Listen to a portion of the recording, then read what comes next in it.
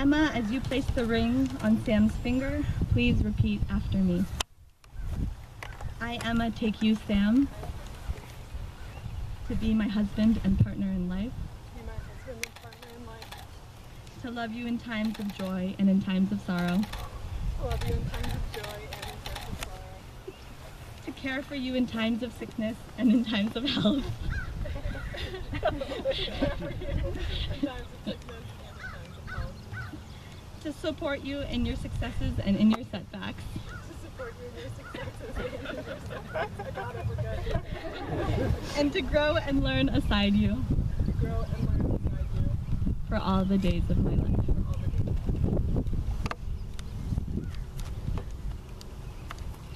Sam, as you place the ring on Emma's finger, please repeat after me.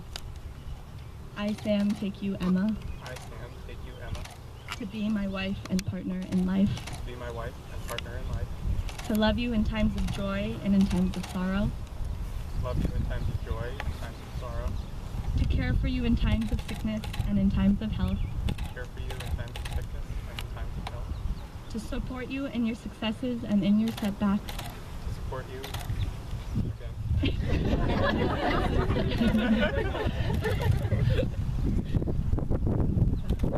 support you in your sickness and in your setbacks, and to grow and learn aside you to grow and learn beside you for all the days of my life. all the days of my life.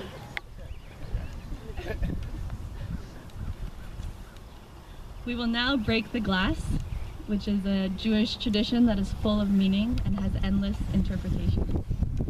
When we were talking about this, Sam and Emma connected in particular to two of the interpretations.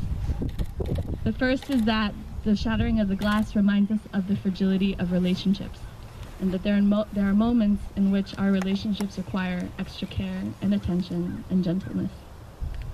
The second interpretation is that even in moments of great happiness, there is still suffering in the world. And it is part of our responsibility as individuals, a couple, and the community to relieve some of that suffering. To me, the shattering of the glass is a reminder that life is unpredictable.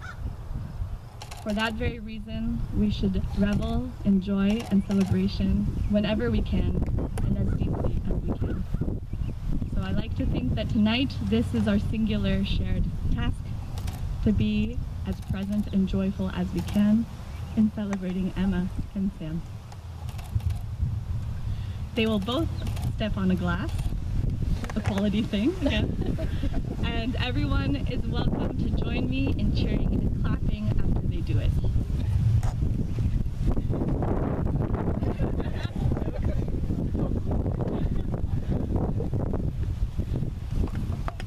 Sam, Sam, this is not a competition.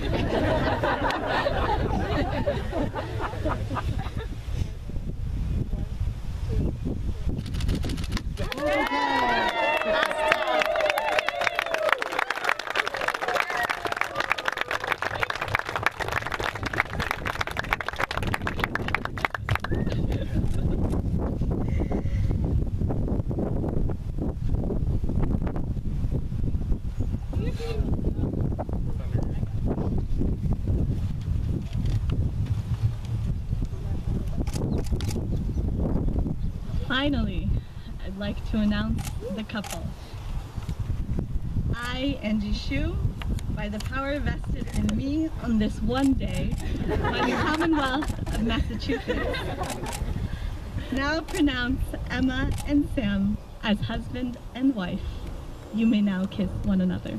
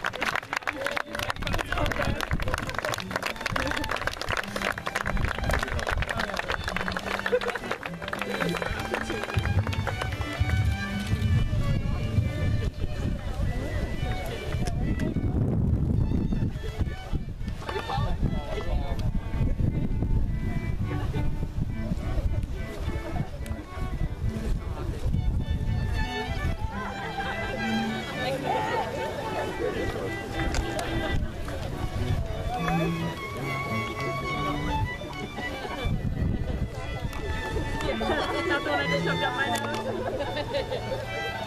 Only said by a mother, right?